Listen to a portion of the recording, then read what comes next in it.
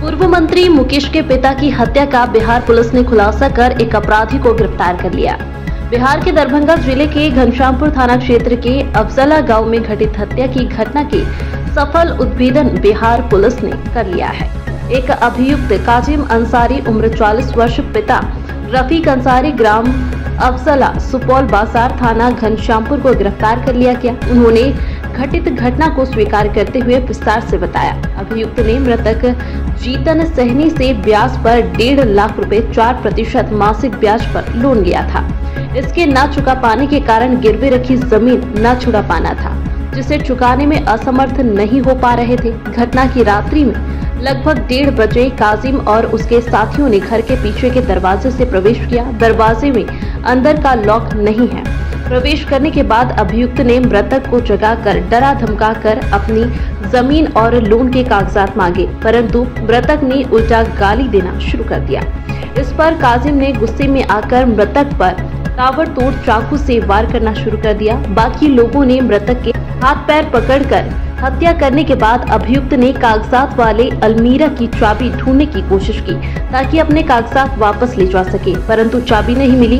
इस पर अभियुक्त ने निर्णय लिया कि अलमीरा को बंद अवस्था में पानी में फेंक दे, ताकि सभी कागजात गलकर नष्ट हो जाए। सभी लोगों ने मिलकर लकड़ी की अलमीरा को घर के पीछे स्थित छोटे से तालाब में फेंक दिया और वहाँ से फरार हो गए। उक्त मामले की पुष्टि दरभंगा के एसएसपी ने की है। पंद्रह और सोलह का जो रात्रि युग माननीय पूर्व मंत्री मुकेश सहनी सर का जो पिताजी जितन सर जी का जो का जो खुलासा कर रहे हैं उसमें एक गिरफ्तारी हुआ है।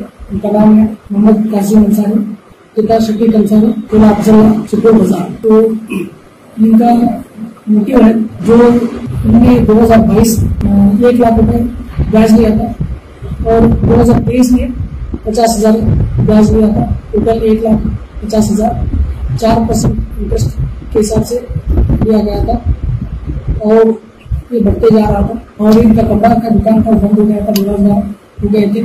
और तीन जो पैसा ज़्यादा हो गया था और उनका जो ज़मीन का जो तीन दिन पहले झगड़ा हुआ था उनके साथ मृतक जितन सिंह जी के साथ तो विवाद विवाद हुआ इसी के चलते कि प्रयास कम करिए या उसको माफ़ करिए और हमारा कागज़ वापस करिए इसी के चक्कर में जो अन्य गवाह उसका पुष्टि भी किए जो वहाँ थे और अन्य साथियों के साथ मिलकर उन्होंने जो घटना पंद्रह और सोलह तारीख रात्रि लगभग साढ़े दस बजे से ग्यारह बजे के बीच में उन्होंने रेकी किया सीसीटीवी फुटेज में पाया गया है जो घटनास्थल के बगल का जो घर में लगा हुआ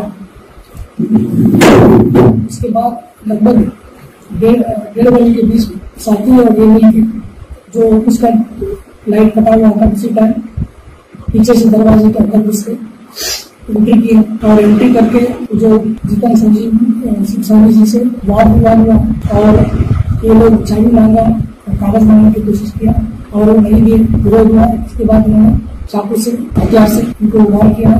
हत्या कर दिया गया? और उसके बाद जो लाल लाल बच्चा जो था, उसको लेके, क्योंकि उनको पता था कि उसमें कागज़ है, और वो कागज़ लेके बाहर पीछे से रास्ते से बाहर निकले, और वज़न भी ज़्यादा था उसका। और वो लोग जाने के क्रम में जो ठोकर था वहाँ इसीलिए इसको फेंक के वहाँ से फरार हो गए